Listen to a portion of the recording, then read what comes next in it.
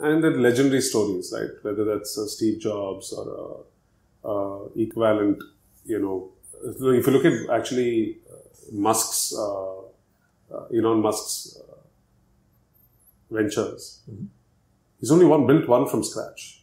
All the others, he's actually gone in as that guy who needs to be parachuted to take the idea to greatness. Uh, even Travis, for that matter, in the Uber idea, you're not the original original guy who thought of it.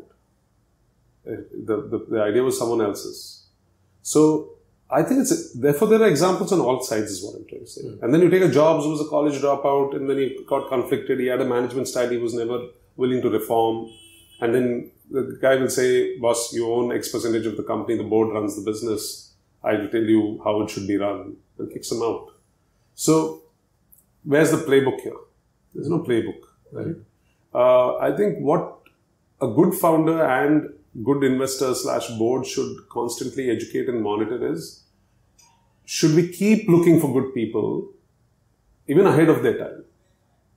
So you don't wait for inflection points to perfection.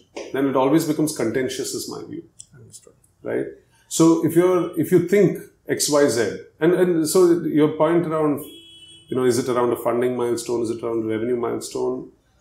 I wish it was so predictable only because the path of the startup itself has not become predictable in India. Hmm. So then to build, try to build predictability around any of these is very, very difficult.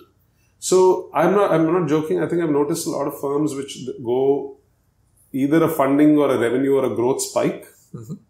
and then actually flatten out for a bit because they're figuring all this out.